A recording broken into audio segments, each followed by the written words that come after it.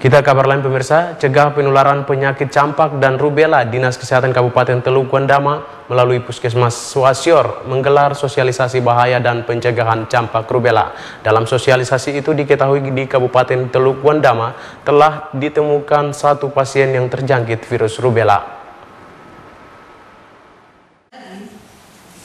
Ada efek sampingnya.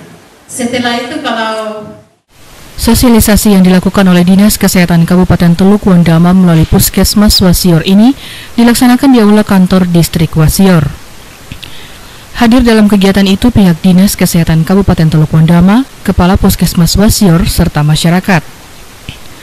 Dalam sosialisasi bahaya dan pencegahan campak rubella, masyarakat dihimbau membawa anak mereka untuk mendapatkan pemberian vaksin campak rubella. Anak yang wajib mendapatkan vaksin campak rubella adalah yang berusia 9 bulan hingga 15 tahun. Pemberian vaksin ini merupakan program nasional yang dilakukan di seluruh Indonesia dan akan berlangsung hingga September 2018 mendatang. Kepala Puskesmas Wasior Dr. Aldif Rorong mengatakan, program ini diberlakukan secara nasional karena campak dan rubella merupakan penyakit yang sangat berbahaya. Berdasarkan informasi, di Kabupaten Teluk Wandama telah ditemukan satu pasien yang terjangkit virus rubella. Setelah pihak kesehatan melihat hasil lab, mereka mendatangi pasien dan mengecek apakah di sekitar tempat tinggalnya ada pasien serupa. Namun dari hasil pemeriksaan tidak ditemukan lagi pasien rubella. Kayaknya pemerintah bisa mendapatkan ada anggaran, jadi dia tambah lagi satu, dia tambah lagi satu. Ini nih imunisasinya rubella. Tuh, jadi imunisasinya rubella karena rubella ini cara infeksinya itu toh berbahaya sekali, mudah sekali, ya droplet infection begini. Kita bicara begini dia sudah menular, ya. Jadi cara infeksi yang begitu itu yang, yang harus kita imunisasi, misalnya TBC. Nah, satu di Wasir sudah pernah terjadi, toh bayangkan itu, karena keterbatasan laboratorium nanti satu bulan kah baru ada hasilnya bilang kita rubella. Bayangkan itu dia punya penyebaran. Hah?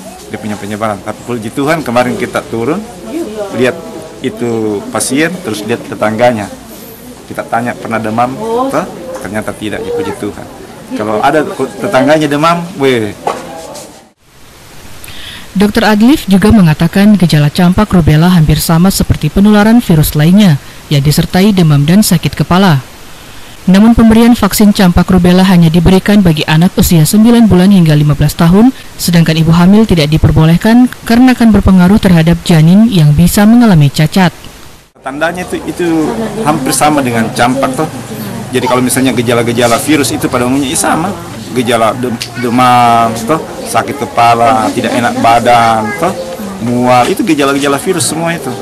Ah, tapi yang membedakan nanti pada saat diperiksa di laboratorium itu yang saya bilang laboratorium campak dengan rubella itu tak, tak, sangat susah untuk membedakan sangat susah untuk membedakannya.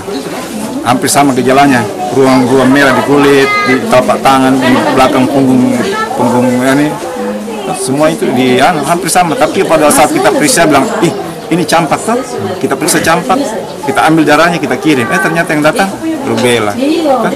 jadi hampir sama campak dengan rubella yang membedakan nanti pada saat di laboratorium setelah melakukan sosialisasi awal, Dinas Kesehatan Kabupaten Teluk Wandama melalui puskesmas-puskesmas dan rumah sakit akan melakukan pemberian vaksin campak rubella kepada masyarakat di Kabupaten Teluk Wandama. Dari Kabupaten Teluk Wandama, Martinus Mayor mengabarkan.